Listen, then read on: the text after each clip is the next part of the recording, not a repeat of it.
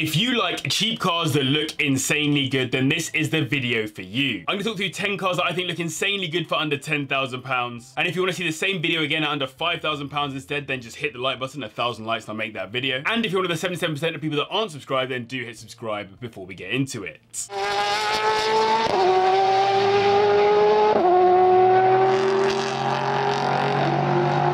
Let's kick this video off with a pretty rare car. We're just 208 registered on the roads in the UK now, the Smart Brabus Roadster, a tiny car with a tiny engine, but some super cool looks to go with that size. That engine is a 0.7 litre turbocharged inline 3, which makes 101 brake horsepower, taking it to 60 in 9.5 seconds, and the whole car weighs just over 800 kilograms in coupe spec. With Smart falling under the Mercedes umbrella and Brabus being arguably the most well-known Mercedes tuning house outside of AMG, it was a nice amalgam of Mercedes-related brands to pull this together. Brabus mostly made their mark aesthetically with those lovely alloys and slightly more aggressive overall look, but it runs deeper with the stiffer ride, more power, and tuning to the automatic gearbox to try to make it a little bit less sluggish. These start at around £4,000 and 10k will get you a 2006 model with 80,000 miles on the clock. The main complaints about it come from rust in places that make you question the build quality and the missed opportunity to make something truly special thanks to that trash gearbox. Next up we have the newest car on the list, the Alfa Romeo Giulia. I recently drove the Giulia Quadrifoglio and what's cool about these less aggressive examples is that the original car was the quad, so every other car is effectively a detune of that beast. What it retains though is its absolutely stunning looks. For our money we'll be getting a 2.2 litre turbo diesel inline 4 block which makes 147 brake horsepower, taking it to 60 in 7.9 seconds,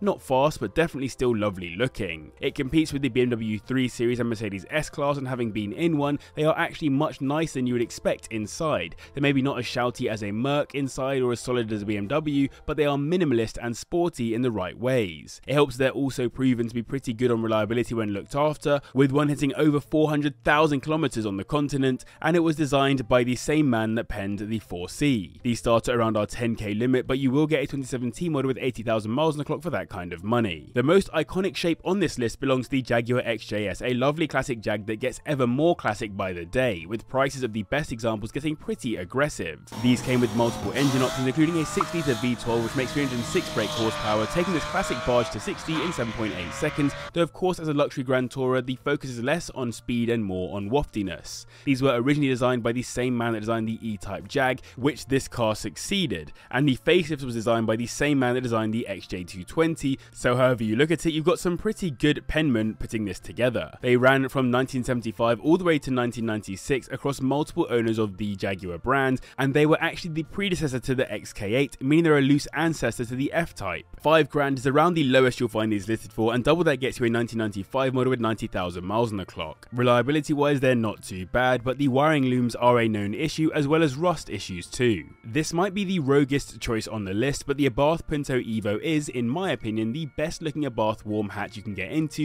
and one of the best looking hatches for the price, despite the lack of real interest from the market on release. It shares its engine basically with the more recent Abarth 595s, a 1.4 litre turbo turbocharged inline 4 block with 162 brake horsepower, taking it to 60 in 7.6 seconds. It's no surprise that these are so good looking as they were penned by Giorgetto Giugiaro at Italdesign, the company he co-founded. He's been responsible for some of the most beautiful cars of all time like some of the Ferrari 250s, the Lancia Delta and the BMW M1 and beyond. The Punto Evo was the facelift to the Grande Punto and the Abarth was the aggressive version which actually sets a lot of the standard for the Abarth we see on the roads today, just rarer and I would say cooler. These start at around £4,000 and 10k gets you into a 2011 model with 90k on the clock. Gearboxes appear to offer the main problems alongside finish or build quality. We're onto a bit of a hybrid between a hatch and a coupe, the Volvo C30 in R design spec, ideally with the T5 powertrain which means you'll get yourself into a 2.5 litre turbocharged inline 5 block, producing 226 brake horsepower, taking it to 60 in 6.5 seconds. It's got a very different design language to most other cars on the road, helping it to stand out, and in R design it gets a bunch of extra flary bits to help it look even more aggressive. It wasn't designed by someone super well known, but instead by a man who has gone on to be one of the design heads at Lynk & Co, who do make some incredibly cool looking cars, particularly their touring cars. I think that's testament to the C30, which also had serious performance inspiration to its design, given some concepts of the car were shown at SEMA originally with some insane features like the double nitrous tanks. It's the cheapest car on the list by far, starting at £2,000 and you don't need to spend 10k to get yourself into a 2012 model with around 40,000 miles on it,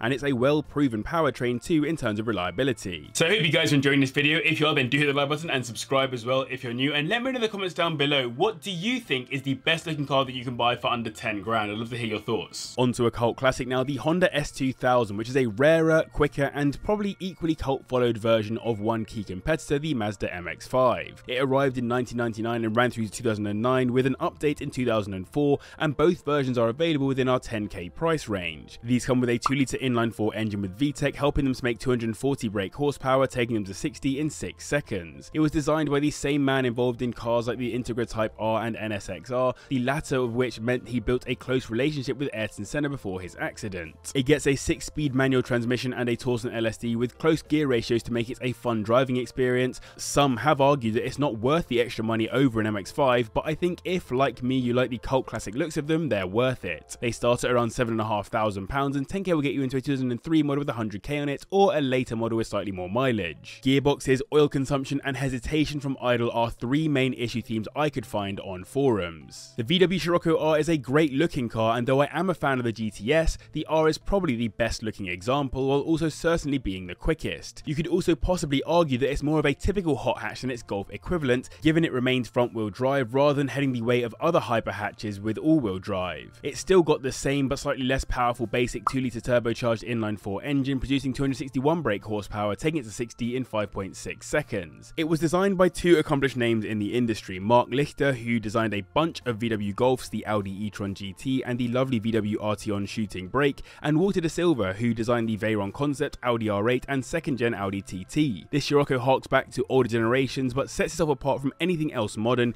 It really is a lovely coupe style hatch with incredible performance focused features throughout. These start at around £8,000 and 10k gets a 2011 model with 90,000 miles on the clock. DSG issues are known if they haven't been looked after though so maybe go manual. The Audi S5 Coupe is another Walter de Silva design and easily has one of the most beautiful shapes in modern cars yet strangely I don't think it looks good as a convertible or 5 door sportback. It was just made to be a coupe which is why the A5 won multiple design awards for just how pretty it is. The first generation had a pre and post major facelifts which included a change in engine from a nice 4.2 litre V8 to a 3 litre supercharged V6 block which puts out 328 brake horsepower taking it to 60 in 5.2 seconds. With the facelift and new engine it went from being named the B8 to the B8.5 and though it retained a very similar shape it got the new Audi design language around the grille and some more modern features to up the experience. It's also a more efficient car all in the pre-facelift and the engine has proven to be pretty reliable all in. These post-facelift models start at around 7k and you get a 2012 model with 100k on it for our 10k price limit. Next up we have a car from an iconic dynasty of fast Nissans, the 370Z, which was actually inspired by the profile of sharks as the designer was enjoying watching Shark Week when he drew it. It comes with a 3.7 litre V6 engine that makes 326 brake horsepower taking it to 60 in 5.1 seconds. It followed on from the 350Z and though there are some aesthetic similarities, it's its own beast, with I would say some quite timeless design features that help it to stand out from most other cars on the roads. I honestly reckon alongside its predecessors one day it will be heralded as a classic, although it's hard to tell to what extent. And though it does look good as standard, I think it really is a car that lends itself to aesthetic modifications. I've seen people go wild, but honestly just a few small mods do wonders on these. £6,000 will get you into one and 10k gets you a 2009 model with around 90,000 miles on the clock. Forums speak mostly about clutch failures and oil consumption, but many owners have had pretty good ownership experiences. Taking the top spot with its Ferrari powertrain is this, the Maserati Coupe, otherwise known as the 4200, which actually refers to the engine, a 4.2 litre V8 block which makes 390 brake horsepower, taking it to 60 in 4.8 seconds, pretty quick for one of the older cars on this list. It's another Giorgetto Giugiaro design and another Gran Tourer, which was the predecessor to the even more stunning Gran Turismo. The 4200 comes with both a coupe and spider, but the coupe in particular looks stunning with lovely flowing lines that echo 1990s supercar design and the boxier rear end that almost harks back to the 80s. It's basically not a very 2000s looking car, but like the 370Z, that kind of makes it a bit timeless. The interior does look a bit dated now though in comparison, and these have been questioned for their build quality and expensive repair bills over the years, often caused by electrics, so something to look out for if you're in the market for one. These start at around £6,000 and 10k is enough for a 2004 model with 60,000 miles on the clock. And so there you have it, 10 great looking cars for under 10 grand. I hope you enjoyed, do hit like and subscribe if you did. Huge thanks to you guys and the patrons for your support, and if you want to see another video on some great looking cars for under 10 grand, then click here.